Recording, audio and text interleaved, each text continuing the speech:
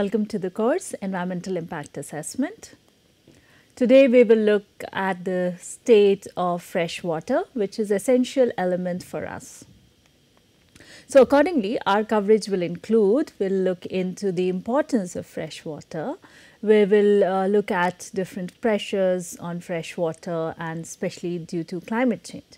Further, we'll look into water and land use and then we'll look into global state and trends, what are there um, regarding fresh water.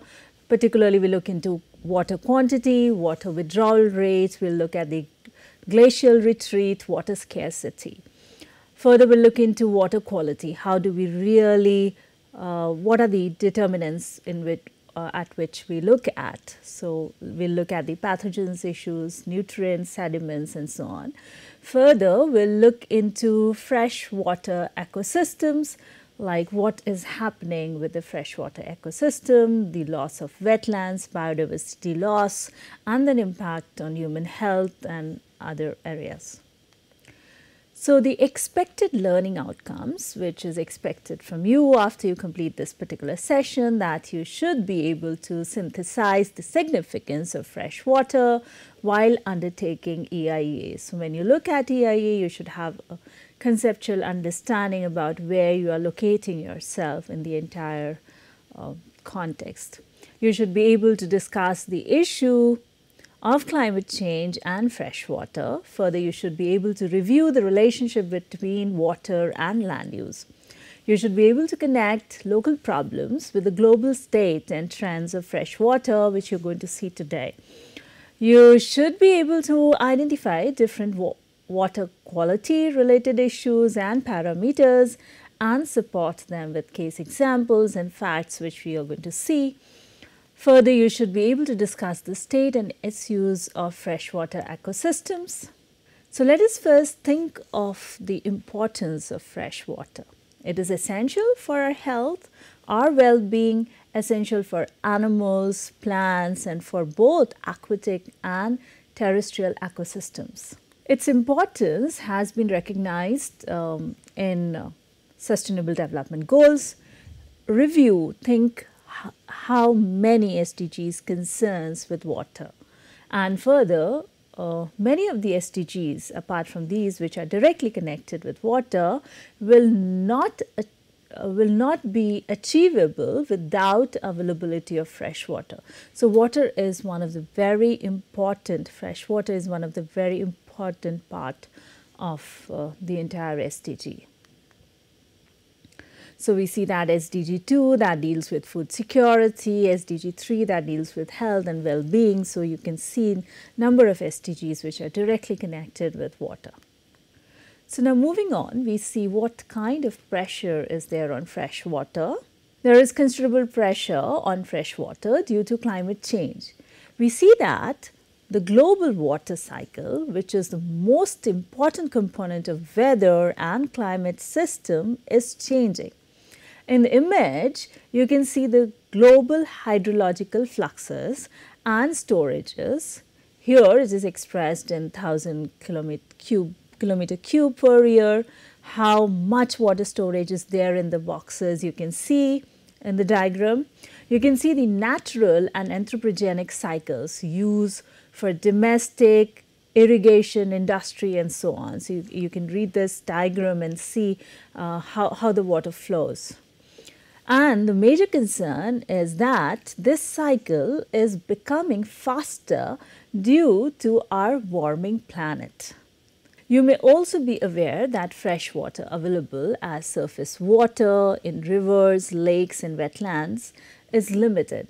Uh, it's just 0.4 percent and you may note that the fresh water is decreasing in a very fast rate. So, we see that the cycle is also increasing as well as there is decrease in the fresh water also. You may also be noticing around you that there is increased floods and droughts. You have also heard of loss of glaciers, all these changes cause direct and indirect impacts on our health and the health of the ecosystem. For example, as stated, nearly 1.7 million people die annually from very, very preventable disease diarrhea. And um, we see in India, as per intensified diarrhea control fortnight IDCF guidelines 2019 by Ministry of Health and Family Welfare, we see that childhood diarrhea diseases continue to be a major killer among under 5 children in many states contributing to the 10% of under 5 deaths in the country. So that's we're looking at 10% is just happening this. Around 1 lakh children die due to diarrhea annually in the country. So that's the death rate we're looking at. Diarrhea deaths are usually clustered in summer and monsoon months, and the worst affected are children from poor socio-economic situations. There are range of factors that influence freshwater quantity and quality in different regions. The condition worsens due to uneven distribution of fresh water. So, we see that there is uneven distribution of fresh water. Some areas have lesser water and some have in abundance people migrating from one place to the another, from rural to the urban, and over and above, we now have increasing events of extreme droughts, floods, and storms. So, these all influence the availability of fresh water quantity as well as quality. We are also witnessing re reduction in the resilience of the ecosystem because of natural and human made disasters. So, in addition to that, we are experiencing disasters along with unsustainable use of fresh water and related ecosystems. So, we, uh, we are also noticing increase in salinization. So, there is also uh, apart from this, there is also salinization happening due to the global warming as well as land use changes, melting ice and snow reserves, and then also pumping of groundwater and then drying of continents and rising sea levels. So, all these are again influencing the quality of water. We are also noticing change in precipitation with many areas now receive less precipitation on or they face drought than in the past. Uh, whereas many other experience more rainfall and temperature than before. So, we are seeing this variation happening. Major concern is that fast warming of the polar regions and high mountain region creating unpredictable situations. So, now we have a situation where we are not able to predict. predict. So, we further see that uh, uh, in this situation, uh, there's a contrasting situation. There's evidence of increasing drought severity in Europe, uh, with historical record indicating increased aridity over many areas since 1950s. So, uh, what happens when there is too much rain? It causes pollution. Whenever too much rain happens we see increase in pollution.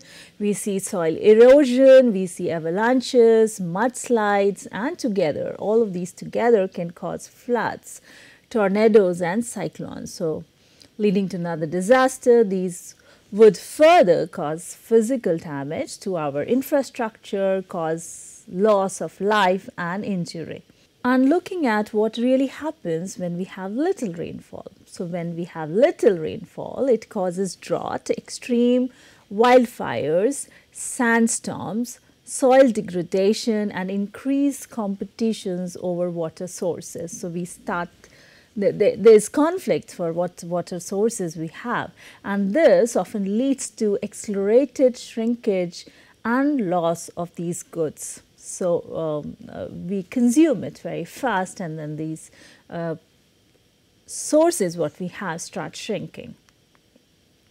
So very well known example of this shrinking water body is the Lake Chad. You can see in the image here and then we have example of Aral Sea, the disappearing wetlands of Islamic Republic of Iran, Lake Urmia and Iraqi marshes. Then you can also think of the Caspian Sea, The videos of these have been given to you in the suggested reading and watch. You can further see their documentaries to understand what's really going on. So, global climate change also interacts with weather and local scale climate effects as well as the unsustainable water uses and diversion, leading to dramatic impacts such as shrinking freshwater bodies.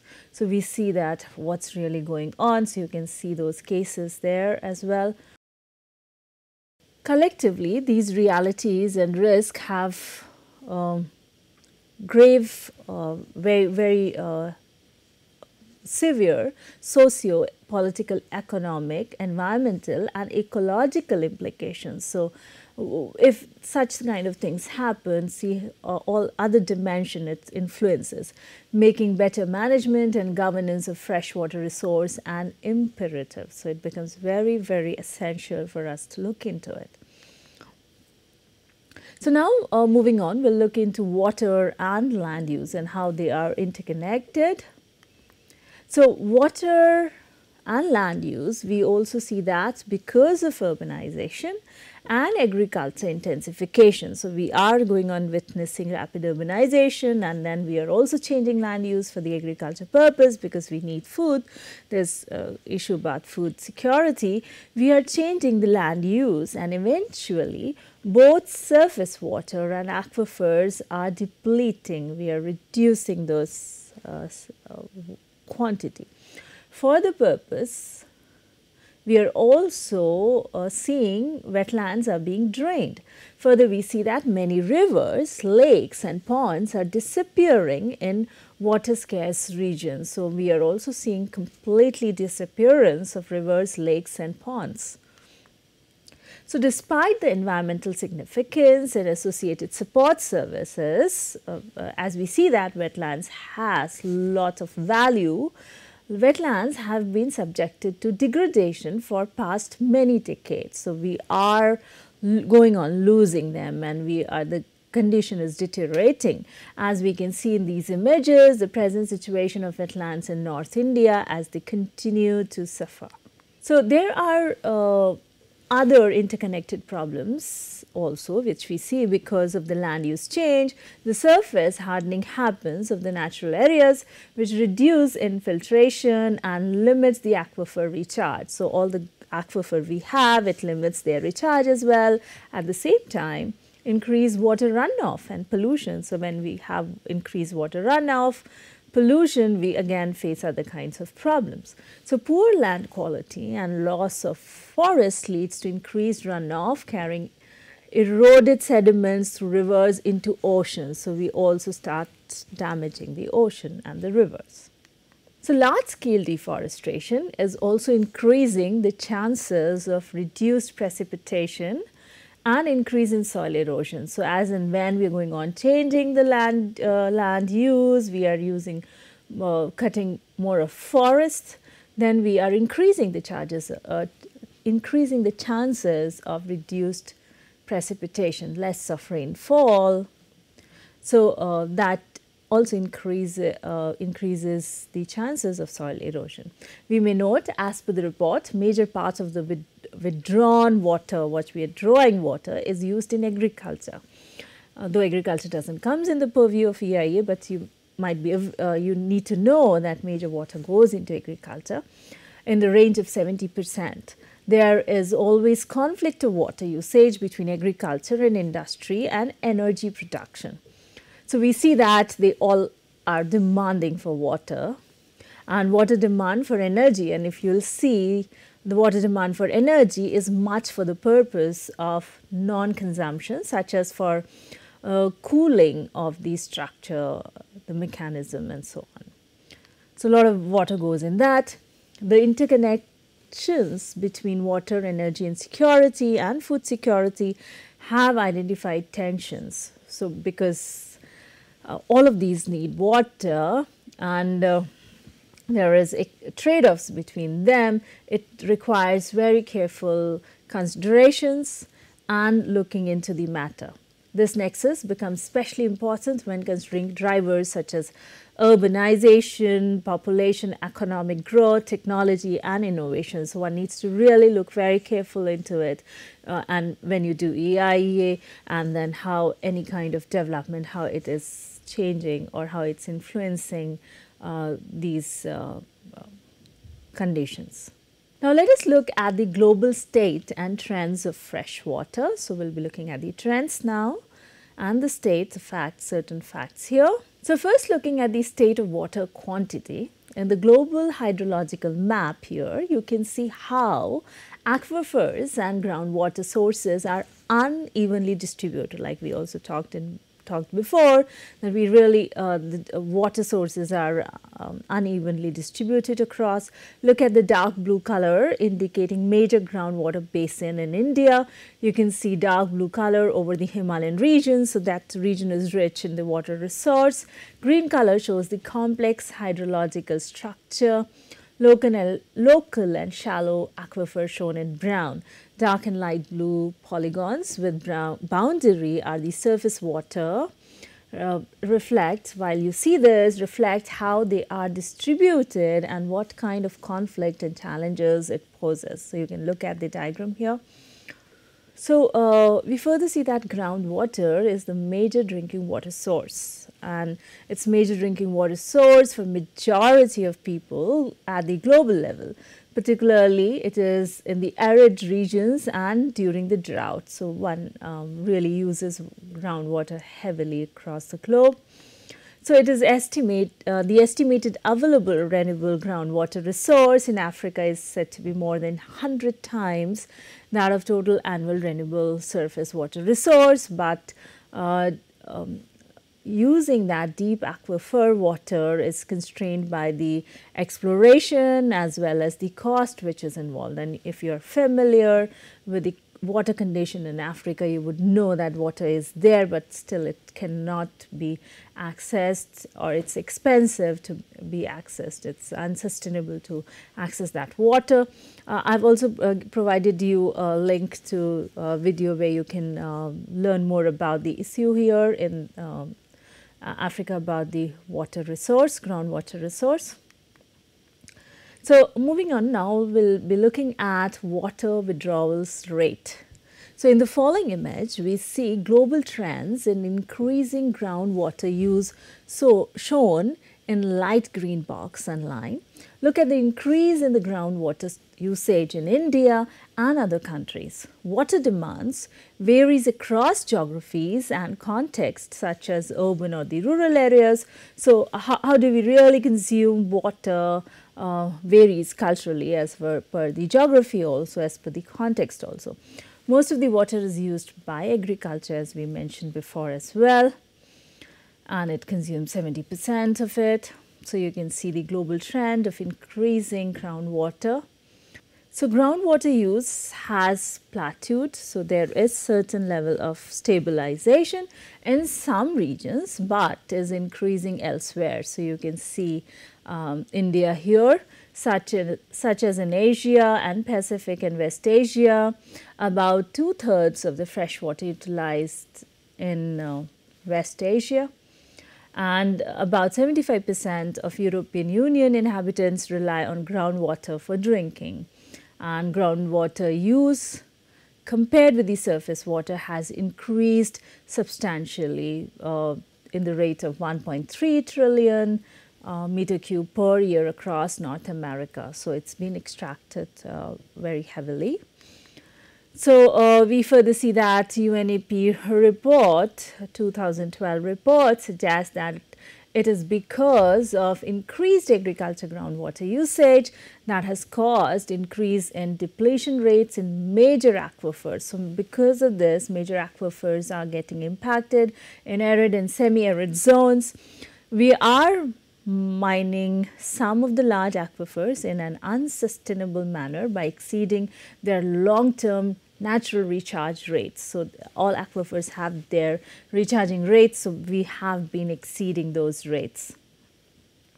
Further, we see that uh, the problem, particularly in fact, if you look at five of the world's seven largest aquifers are in Asia and the Pacific and are overstressed. So they have been used ex extensively. It is also reported that because of excessive groundwater abstraction, there is also sinking of the land area in coastal cities such as we can see in Bangkok, Ho Chi Minh City, Jakarta, Manila, we can see. So I've provided you a link for that. You can see the image here of Bangkok, how the uh, sinking is, sinking of the city is taking place. And other cities you can see from the suggested watch and uh, readings.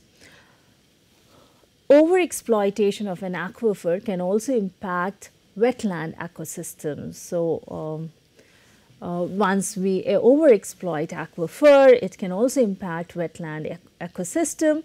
Hydraulic fracturing uh, for like all the resources like oil and gas extraction, they also like impact the groundwater.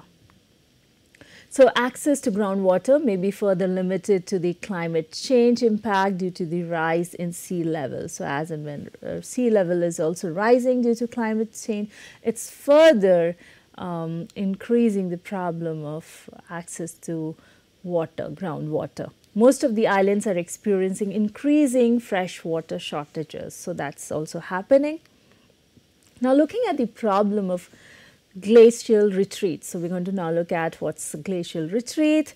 Because of the climate change, there is impact on the availability of water in the region around the world. In particular, areas which are dependent on the melted water, um, melted water of the glacier. So, uh, a lot of our area is dependent on glacial uh, water for example, Hindu Kush Himalayas, as you can see in the image here, this region is largely dependent on the melted water, melting water from 10 river systems such as uh, Amu Darya, Brahmaputra, Ganga, Indus, Irrawaddy and so on. You can see here as shown in blue lines and glacier shown in pink polygons. So, you can see that how this river system and then the uh, glacier, all that provides water for us. So, Hindu Kush Himalayas provides water to 20 percent of the world's population. So, it is a huge number what we are looking at, huge proportion what we are looking at here. In this image, you can see retreat of uh,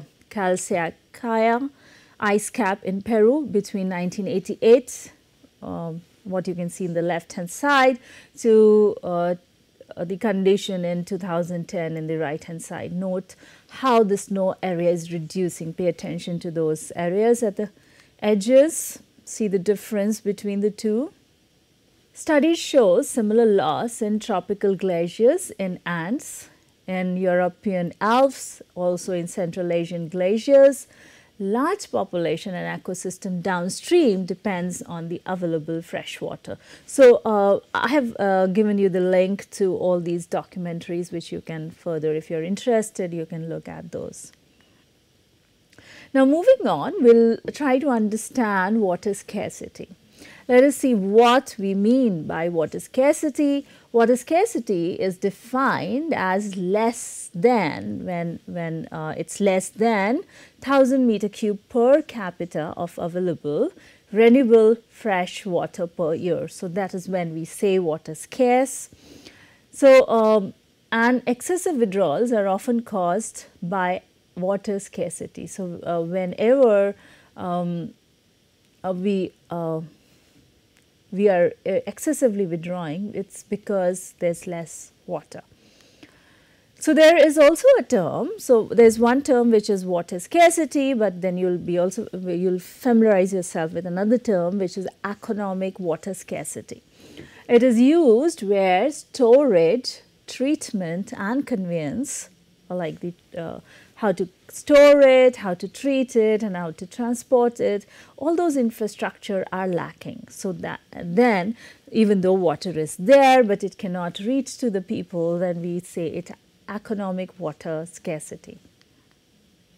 So, lack of infrastructure combined with rapid population growth can lead to economic water scarcity, although there are debates on actual cause of water scarcity. So, like what really causes water scarcity is debatable. In the image, you can see global, physical and economic water scarcity. So, you can see the two here. The blue polygon indicates the physical water scarcity when we really say as per the definition what's the water scarcity and the black polygon shows economic water scarcity.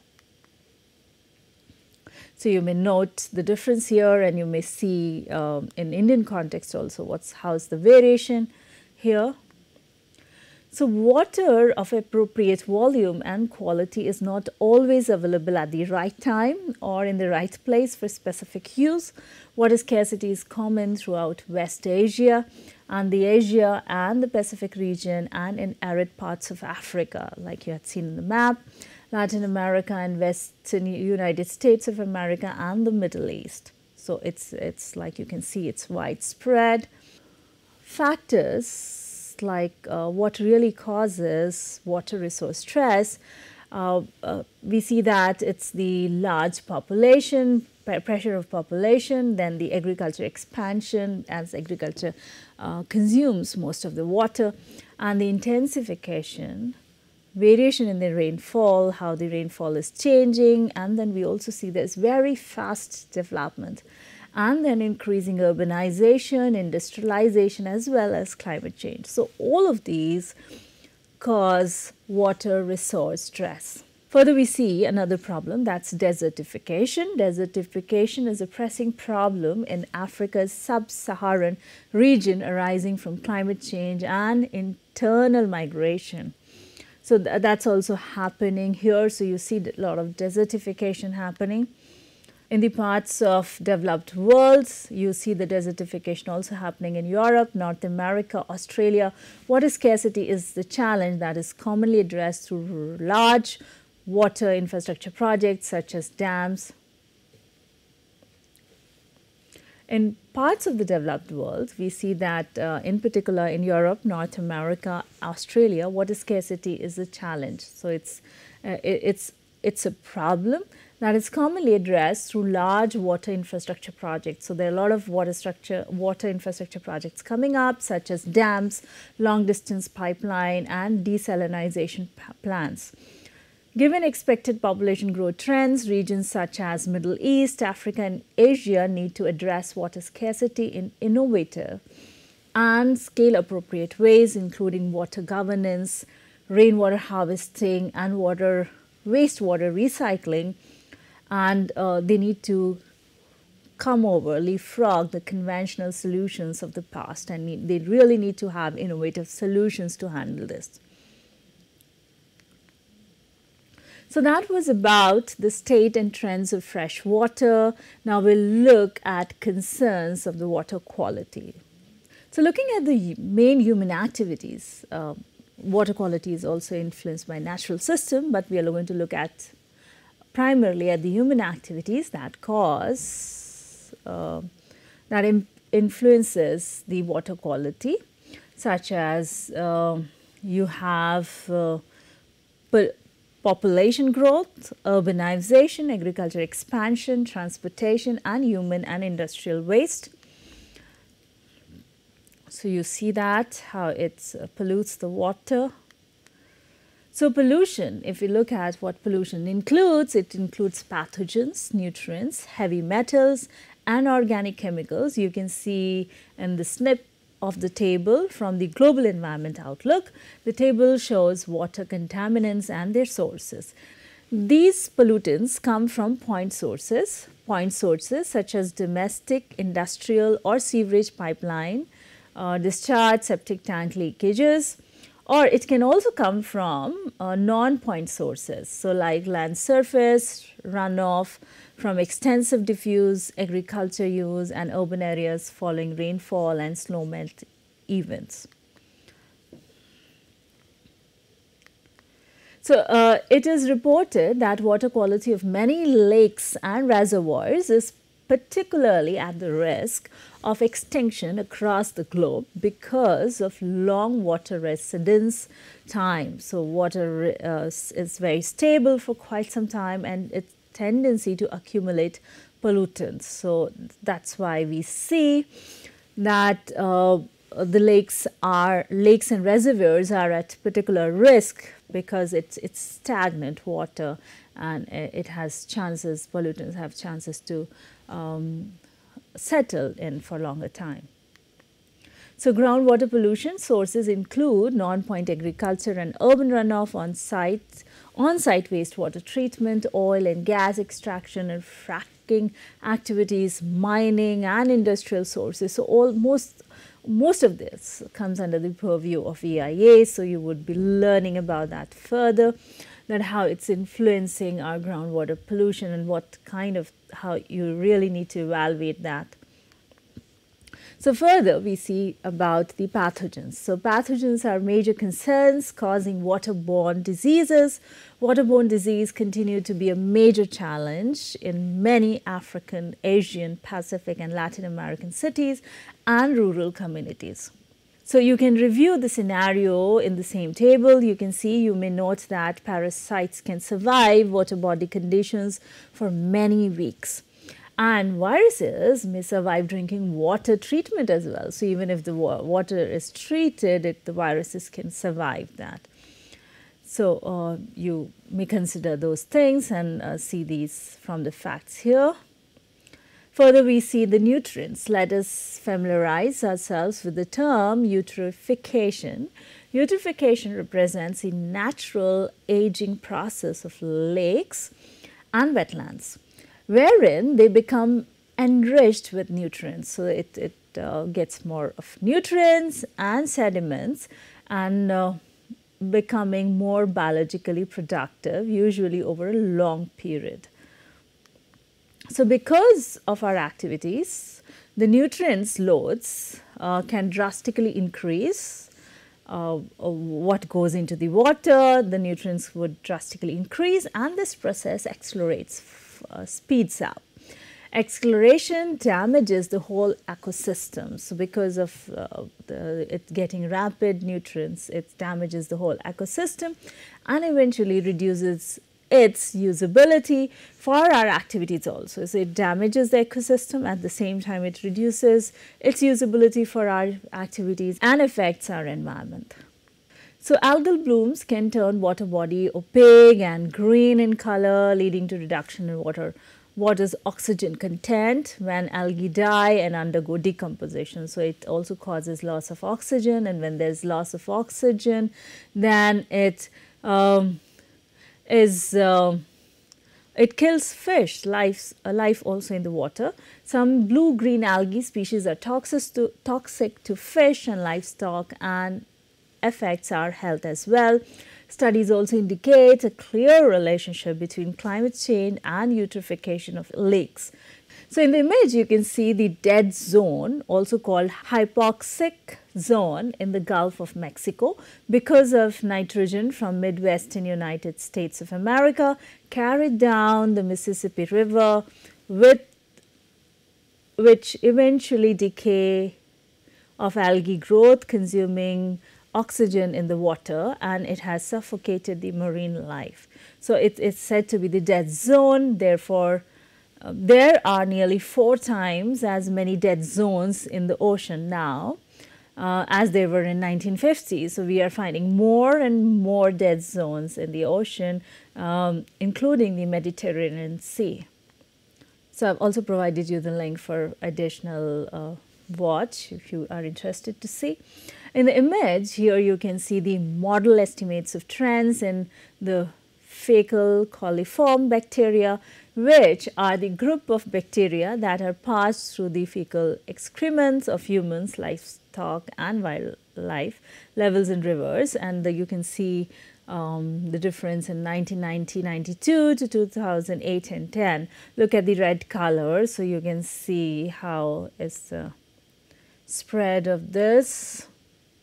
Now, moving on, we will look at the other determinants of the pollutant. Here we see sediments we um, we see the issue of sedimentation which happens from erosion of exposed soil surfaces.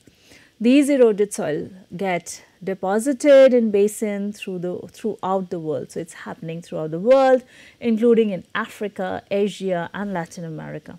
Because of the land use change causing deforestation and unplanned settlements are major causes of soil vulnerability to erosion. So, because we are continuously changing the land use uh, uh, and causing deforestation, uh, there is a, issue about unplanned settlements. So, our soils are getting vulnerable to erosions and storm generated runoff carries soil into the downstream water bodies. So, we are also damaging the water bodies. In the image you can see the tailing sediment from Samarco Dam in Brazil. So, you can see here. So, you can further refer table for impact causes and facts you can see here the contaminants and their sources.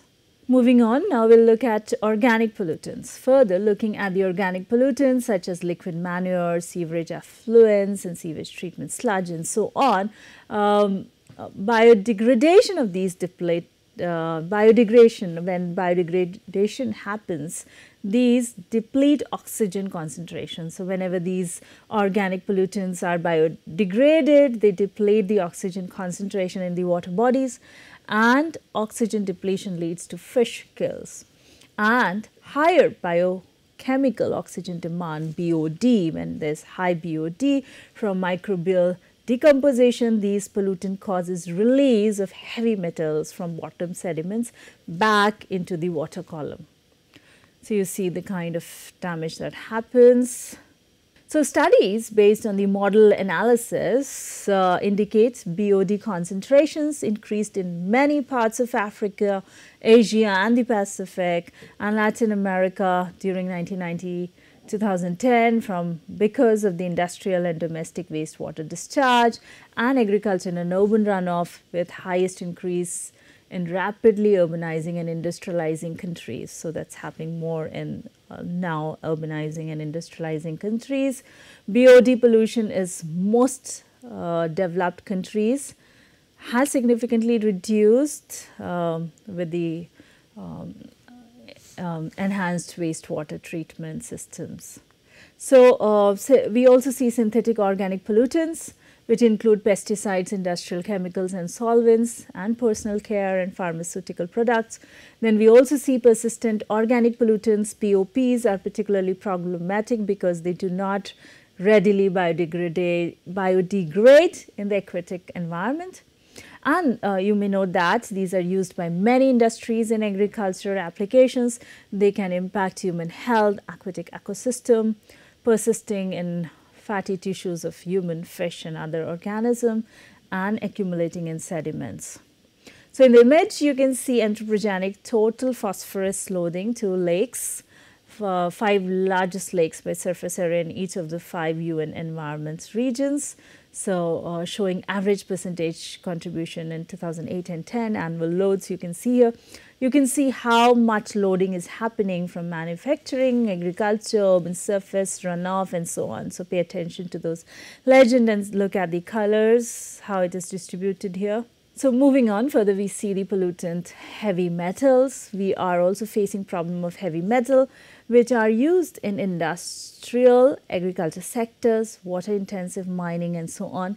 They degrade the water. Concerns are serious in some Asian, Pacific and South America, African and Latin American countries. They also damage plants, many like mercury, lead, chromium, cadmium are toxic to human and aquatic organisms.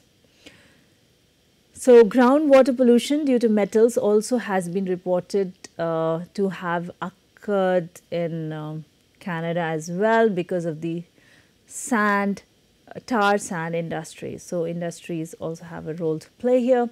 We see that the natural arsenic groundwater contamination in South Asia and other countries in Asia and the Pacific that's already there naturally, but that gets further aggravated with the with our activities of metal mining and groundwater abstraction. You may refer to the critical example of heavy metal contamination involved uh, with the Flint, Michigan case. So, where the source of water had to be changed. So, now uh, we'll look at another uh, component of water quality that's salinity. Salinity happens due to increase in quantity of dissolved minerals in fresh water from the land use change. So, it's, it happens because of the land use change, agricultural irrigation drainage, lake evaporation and seawater intrusion, sea level rise, water abstraction, so on. And if excess salinity happens, uh, then it is unsuitable for human consumption. So, we cannot consume it and then many of the plants and organisms have limited tolerance to salinity. So, salinity problems prevails in Africa, Asia and Pacific and Latin America and all this and then um, and it has been increasing because of the industrial water uses. Saline water intrusion into coastal aquifers can result from over abstraction and mismanagement as well as sea level rise. So, salinity impact the quality of environment and as well as impacts the food security. There are now many emerging contaminants. So, you have seen certain of them, few of them. Now, there are many other emerging contaminants such as human and veterinary pharmaceuticals, personal care products, insect repellent. So, what all stuff we use, you, you may look at that and uh, also microplastics and manufactured nanomaterials. So, these all are new contaminants we are seeing. United States Geological Survey detected such contaminants in majority of sample streams in US. So, you can see how what's the level of contamination. In the image you can see the model estimates of trends in biochemical oxygen demand concentrates in river between 1990-92 to 2008 to 10. The red color streams indicate the increasing concerns. Scan through where, scan through through the image and see where all you see the red color streams. You can see here. So, in the image you can see the source and pathways of pharmaceuticals and personal care products entering surface and groundwater. You can see here how it's happening, all the sources, how they are entering. Further, we see plastic waste is another major concern. Microplastic are also con, uh, can also con, uh, can contain and absorb toxic chemicals. Electronic waste is another concern which we see because of their widespread abundance. We have a lot of electronic waste and unknown risks to surface and groundwater quality. So, we are still do not, we do not know what kind of impact it has. So, uh, uh, if you further see there are other groundwater quality concerns as well, which is important from EIA perspective. You'll see the groundwater pollution from oil and gas fracking activities, which are large quantities of chemicals and discharge large volumes of produced water. So, that all gets into groundwater and also the byproducts of all these activities. There are a range of products which also uh, which happens during the operations are also of concerns. Uh, we further see lake acidification, thermal pollution, radionuclides are also problems here we see. Now, we look at the freshwater ecosystem. So, there is a continuing loss of wetland. So, we are experiencing loss of wetland. Examples of freshwater ecosystem or inland wetland include marshes, swamp, peatland, wetland forest, rivers, lakes, ponds and headwaters all these are examples of freshwater ecosystem um, and they provide range of functions. So, there is like it, it does a lot of things such as it provides uh, it uh, provides regulatory and supporting ecosystem services. We will also see all these in the ecosystem services in the methods section where we study that.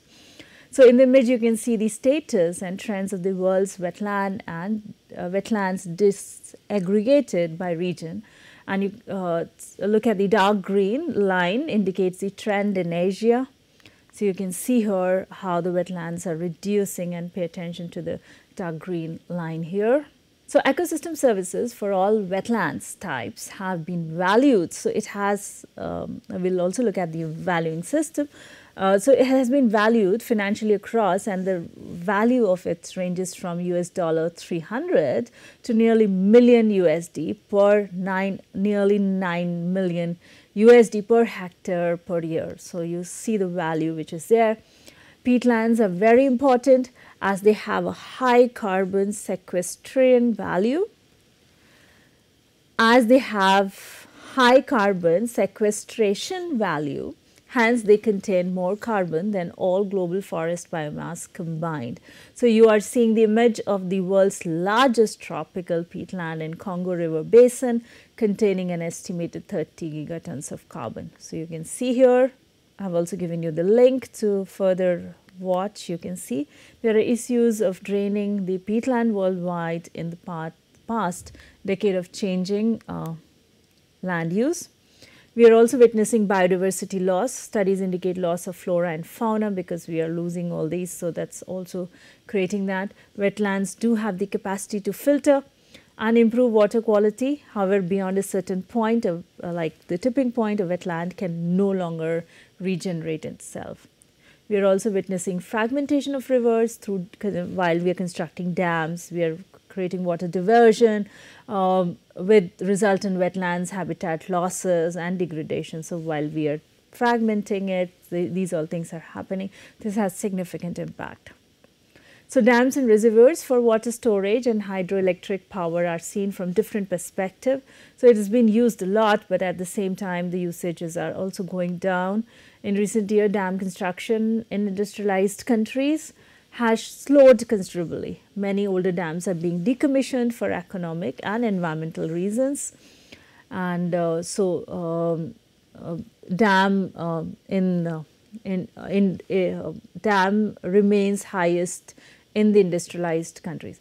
Dam density nevertheless remains highest in the industrialized countries. So, now looking at the impact of problems in fresh water, it has impact on human health, causes gastro intestinal illness. Predicted change in hydrological cycle with climate change may increase the environmental health related disease. In the image you can see the morbidity from diarrheal disease of all ages for females. Pay attention to the red color as shown by these uh, through the study here. You look at the red color, the most severe areas. Then in the image you can see the morbidity from diarrheal disease for male so, you look the color difference, how it is different for men and women here. So, it, uh, it impacts the food security as well. So, that also we see.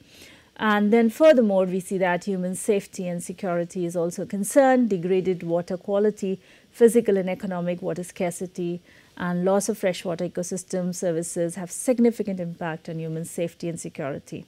So, whenever floods happens, droughts happen, it affects large number of vulnerable people with security and there's also migration implications.